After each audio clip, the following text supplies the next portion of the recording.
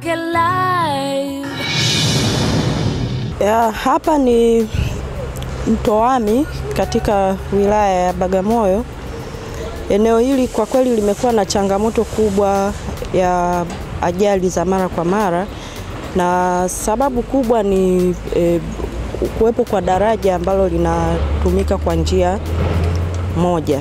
Kwa hiyo magari yanapofika hapa, lazima gari iliyokuwepo upande mmoja isimame ili kusudi iweze kuruhusu gari ya upande mwingine. Mm. na njia hii ndio njia kuu ambayo inatumika sana kwa magari e, yanayoelekea upande wa kaskazini mwa Tanzania. E, kwa mfano wanaokwenda Moshi, Arusha, Manyara, Tanga na kadhalika. Na hata kwenda kanda ya Ziwa.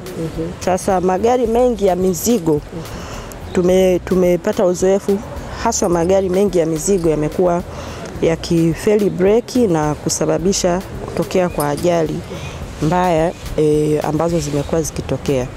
Tumekuwa na rekodi ya takribani pengine haipiti wiki au hata mwezi bila kutokea ajali kwenye, kwenye hii barabara, lakini serikali e, serikali ya awamu ya tano chini ya Mheshimiwa Rais wetu Dr. John Pombe Magufuli imefanya e, imetengeneza njia mbadala e, ambayo nadhani baada ya muda mfupi sana tutakuwa tunaanza kuitumia hiyo e, njia. Serikali inajenga daraja kubwa ambayo litapita e, magari yatakuwa yanapita kwa kupishana mm -hmm. na kwa sasa naamini itakuwa imeshafika zaidi ya asilimia sabini e, ya huo ujenzi wa daraja. mm -hmm. Kwa hiyo e, hivi karibuni tutarajie e, kwamba kutakuwa kuna mabadiliko ya njia, haitokuwa tena njia hii ambayo imekuwa ikiwa ikiwasumbua e, wa, wa madereva na wanaoitumia hii njia. mm. E, nitumie nafasi hii kutoa pole kwa mama e, Mwajuma mjasiriamali ambaye na yeye amekuwa mhanga wa daraja letu hili la Mtoami. E, siku chache zilizopita gari yake ambayo ilikuwa ina, imebeba shehena ya chumvi ilikuwa inapita kutoka e, upande wa, wa Dar es Salaam kuelekea upande wa kaskazini. Niliambiwa ilikuwa inakwenda Arusha na yenyewe imepata ilipata ajali mbaya, ilitumbukia kwenye mto Ami, lakini pia e, yapo magari mengine kutokana na ajali hiyo hiyo yalipata ajali na ikasababisha kifo cha mama na mtoto, lakini pia ilipelekea kifo cha dereva ambaye alikuwa anaendesha hilo lori. Hapa niwe, niwe muwazi, eneo hili ameshazama magari mengi tu kutokana na nature ya, hii barabara, kutokana na hali ilivyo hapa, kuwepo kwa ajali, magari mengi tu yamekwisha yamekwisha zama hapa. Wengine huwa wanakata tamaa kabisa, wanaona sasa ah, si, si, si, sina, siwezi tena kulitoa hilo gari, basi wana, wanasamea lakini mama huyu kwa kweli mimi nimpongeze yeye, hakukata tamaa. E, pamoja na ukubwa na uzito mkubwa wa gari yake na mzigo ambao ulikuwa imesheheni kwenye hiyo gari, bado yeye amesema anaendelea kupambana. Kupambana na kuhakikisha kwamba gari yake inatoka inarudi barabarani. Na mimi niwapongeze wanawake wenzangu wote, wanawake wa nguvu, malkia wa nguvu, pamoja na wewe mwenyewe Joyce, eh, mmeshirikiana na huyu mama, hamkumwacha nyuma kuhakikisha kwamba zile gharama ambazo zinatakiwa katika kuokoa e, mali yake e, mnazichangia kwa pamoja na pia e, kuhakikisha kwamba angalau gari e, linatoka. Hii ni Wanawake Live, naitwa Joyce Kiria the Superwoman. Niko hapa katika Mtowami. Miongoni mwa vijana ambao walijitokeza kutoa msaada mkubwa sana ni vijana ambao niko nao hapa kwa ajili ya kuweza kuzungumza mawili matatu. Wamemsaidia sana mama Mwajuma Shaibu kutoa mwili wa marehemu wa dereva ambaye alikuwa anaendesha chombo kile, lakini vile vile sio Mama Mwajuma tu, wamekuwa ni msaada mkubwa sana katika eneo hili pindi ajali mbalimbali zinapotokea. Si vibaya tukapiga nao stori mbili tatu tukafahamu uh, mambo mawili matatu, lakini pia nikukumbushe, nyuma yangu kuna mradi mkubwa sana ambao unaendelea mahali hapa ambao unatekelezwa katika awamu hii ya tano ya kipindi cha Mheshimiwa Rais Magufuli. Basi ungana nami ili uweze kusikia mawili matatu kutoka kwa wapambanaji wa nguvu kabisa, vijana wachapakazi ambao wako katika eneo hili la Wami. Bwana Jose pamoja na Eugene, kwanza kabisa ni wapongeze kwa kazi nzuri. Embo muweze kujitambulisha kwa watazamaji ambao wanatazama. Naanza na wewe. Mimi naitwa Joseph Charles Muhagama, mkazi wa kijiji cha Mandela Kibaoni. Mimi nipo hapa Wami kwa ajili ya shughuli zangu za uvuvi. E, nipo hapa Wame kwa shughuli za uvuvi. Na shughuli kubwa ninazofanya ni uvuvi na shughuli ya uzamiaji kwenye mradi wa Dawasco. Nipopewa kibarua, mimi ni kibarua wa Dawasco.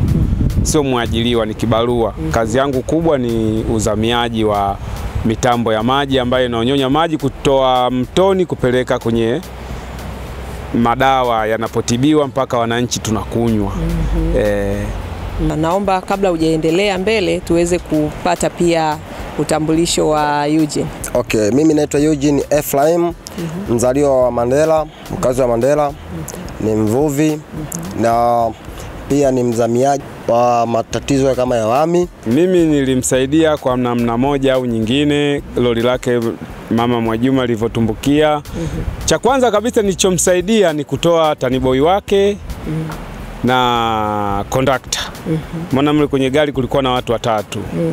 E, nikafanikiwa kuwatoa wa vijana wawili, lakini baadaye nikarudi kwenye maji tena kwa mara ya pili. Nilivyotoa wale vijana, nikarudi tena kwenye kibini ya gari, maana wale vijana waliniambia, bwana, dereva wetu amebaki. Nikaenda kulichunguza lile lori, ni kweli nikamkuta mm. dereva amebaki, lakini nilikuwa kwa sababu sina vifaa mm. vya kuweza kupumua na pale parefu kidogo, kwa sababu saizi ni maji ni mengi mm. e, kwa hiyo nilipokuwa sina vifaa vya kupumulia nimeshindwa mm. kumwokoa yule dereva, lakini lakini nilijaribu kwa uwezo wangu nilokuwa nao mm. na utaalamu nilokuwa nao, na kwa sababu mto, mto nimeuzoea mm. nimefanya hivyo. Kwa hiyo ilichukua muda gani wewe kufika eneo la tukio baada tu ya ajali kutokea? Mimi ajali ilivyotokea nilikuwa eneo la Dawasco. Pale pale, na maana kwenye kazi zangu. Gari imetumbukia ng'ambo ya pili, lakini mimi nilikuwa ng'ambo hii, nilikuwa na shida ya kwenda kunawa maji. Mm -hmm. lakini nilipofika pale nikaona kwamba kuna mtafaruku wa magari mawili darajani na mwisho wa siku gari ya dada Mwajuma ikaingia mtoni Kwa wakati naingia ulishuhudia kwa macho? kwa macho yangu mawili mm. e, nilishuhudia na akatokea taniboi akakaa juu ya kibini mm. nikamwambia subiria hapo hapo tukupe msaada mm. usitoke wala usiachie ulikoshika sijalifanya kwenda kut- sijaenda kutoa msaada kule kwa yule alioshika gari akaibuka mwingine. Mm. nikaona sasa kwa sababu wewe umeshika basi endelea kushika tutoe msaada kwa mwingine kwa mwingine anayopelekwa na maji. Mm. hatukujua kwamba alikuwa na majeraha gani. Mm. e, tukaenda pale nilikuwa na mwenzangu ambaye tumeajiliwa kazi moja mm -hmm. anaitwa Juma Ramazan Chai. Tumeenda pale mwenzangu ndo ameanza kumshika. Akaogelea naye kwa sababu maji yana kasi huwezi kutoka ng'ambo uende ng'ambo Mm.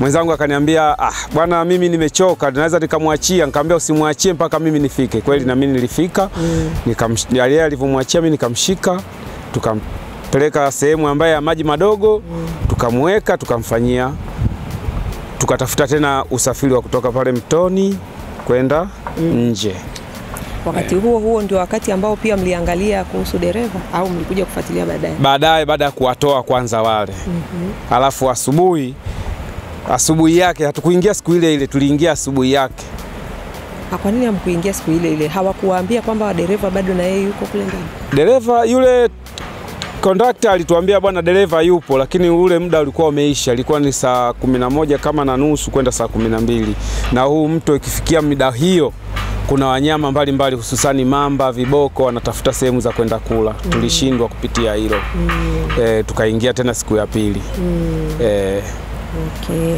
sawa. Sasa hebu tuambie historia ya eneo hili kuhusiana na changamoto mbalimbali, wewe kama mwenyeji mm. ikoje?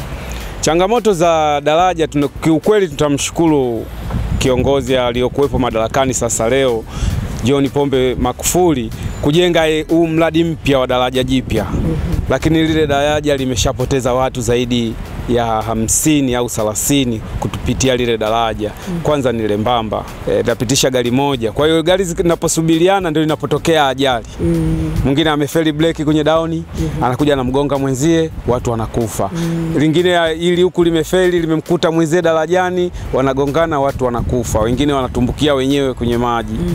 na tunajitahidi kuwaokoa. Kuna basi moja kampuni ya Ngolika ilishawahi kugongana pale, akaingia mdada mm. mdogo, lakini sasa kutokana amesuka nywele kubwa mm. tulishindwa kumwokoa. Tunajua hili ni bonge la mama mm.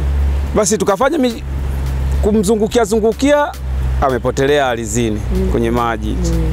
naona sisi ah, tukachukulia kwamba ngoja tumtafute. Siku ya kwanza tukamtafuta, siku ya pili tukamtafuta, siku ya tatu ndio ameibuka mwenyewe kuja juu.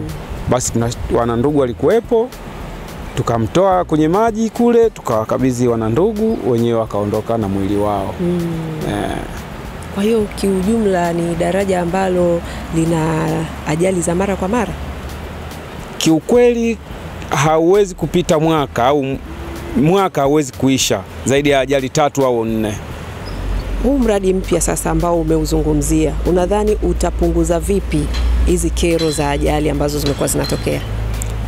Naona kwa sababu ya ajali za zile lile daraja, ajali nyingi zinatokea kwa sababu ya njia moja mm -hmm. lakini kwa sababu hili daraja linajengwa njia mbili mm -hmm. nadhani inaweza ikapunguza kidogo ile ajali ajali zile za mara kwa mara mm Ne, na kupunguza kona daoni kubwa wamepunguza punguza wamejaribu kupunguza pu- wamepunguza kifupi mm -hmm. lakini tukiangalia hata hizi nguzo zenyewe zilivyonyooka tunaona kwamba daraja limepungua kona milima imepungua mm. kwa hiyo kidogo inaweza kapunguza ajali mm -hmm. eh.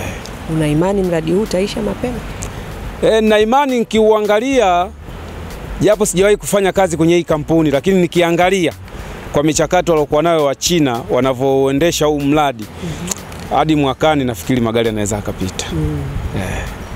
Kwa ujumla wake, unaonaje utawala wa awamu ya tano na kasi ya maendeleo chini ya Mheshimiwa Rais Magufuli? Una nini la kuzungumza wewe kama mwananchi wa kawaida?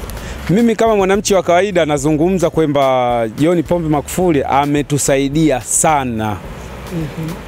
hasa hususani hiki hapa Wami ametusaidia sana ku- kuboresha ku- kuendesha huu mradi mpya wa daraja kutupunguzia ajali, kwa sababu Wami imeua sana sana sana sana sana mm. imeua kiukweli Na, kutokana na huu mradi mpya wa daraja jipya mm -hmm. nadhani ajali zinaweza zikapungua kwa asili, sio asili, katika asilimia mia haziwezi kupungua zote, lakini katika asilimia hamsini inaweza ikapungua. mm Wanawake Live.